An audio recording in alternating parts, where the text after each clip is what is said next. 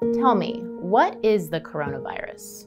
Coronaviruses in general are a large family of viruses that sport these spiky projections on their surfaces that resemble crowns. We've seen this before. The coronavirus you've been hearing about on the news is called SARS CoV 2, a new coronavirus that we have not seen in humans before. And where did this one come from? Several other coronaviruses in recent decades have hopped from animals into people and caused these more severe diseases. So it started with animals? Some of them do. Viruses that cause SARS, MERS, and this new disease, COVID 19, all appear to have come from bats initially and then pass through intermediate animals on their way to humans. And where did it start? This current outbreak began in the Chinese city of Wuhan, most likely at a wet market where both live and dead animals are being sold. So, what's different about COVID 19? This new disease does share symptoms with other respiratory illnesses like the flu. It's like the flu? But this is definitely a distinct disease. It's not caused by the same type of virus and it does have a higher fatality rate from what we've seen so far. Okay, let's get down to it. What are the symptoms? Infected people often develop a fever and a dry cough. Um, they report symptoms of exhaustion, fatigue. Okay, that's pretty specific. People sometimes develop a runny nose or nausea, um, and they can develop diarrhea a lot of these symptoms may sound similar to other respiratory illnesses, and that's because they are. Doesn't seem that bad. The disease can develop into a pneumonia where the lungs become inflamed and fill with pus. If people show symptoms, what should they do? So, if you develop mild symptoms, as of now, the best advice I can give you is to quarantine yourself at home voluntarily. How can they take care of themselves? Make sure you stay hydrated, treat it as you would other respiratory illnesses, at least mild ones. And if it gets worse? Keep track of those symptoms. If they worsen, you should go to the nearest healthcare facility and hopefully from there you'll be triaged into diagnostic testing. How do the tests work? Most tests that are out, including the one provided by the CDC, use a swab sample from your nose and mouth. They look for bits of viral DNA present in those samples. Saliva is more reliable than blood? People are working to develop serological tests, so they're using blood samples, and these look for antibodies that the body generates after being exposed to a new pathogen. So that would be an alternate way of diagnosing this virus. Those sickies should go to the hospital then. Yes, so people with the severe symptoms I mentioned earlier should go to the nearest healthcare facility. Okay. If you are part of a more vulnerable population, say you're above the age of 65 or you have a pre existing condition that makes your immune system more prone to severe insult, um, you should check into the hospital sooner. You are more likely to develop serious complications as a result of this disease. How about the kids? Children can catch this disease but it seems like their symptoms tend to be much milder than we see in adults. Does having traveled even matter? Now that we're seeing sustained community spread within the US, more people now are vulnerable to catching this virus, even if they haven't traveled recently. So just keep that in mind.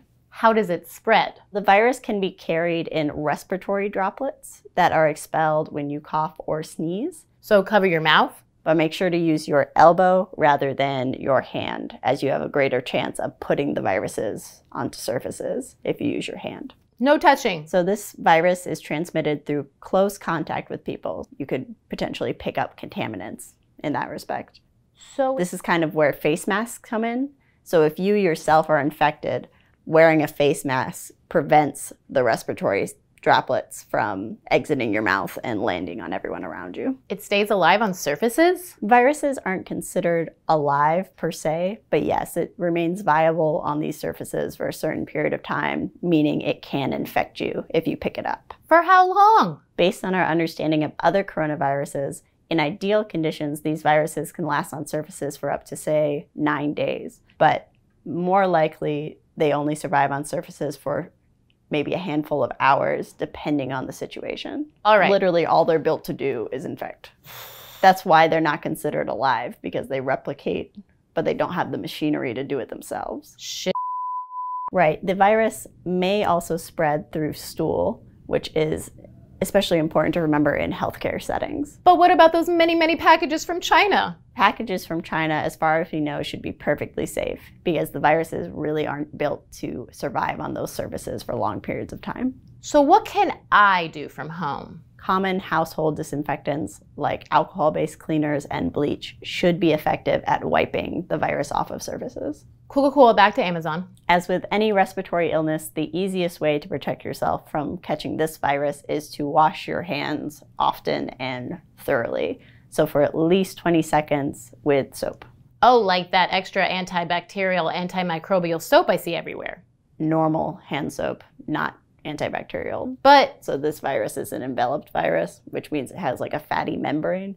The normal soaps break down the fats and basically like disarm the virus in that way. what about sanitizer? Will work just fine. Yeah, no, Amazon sold out of sanitizer too.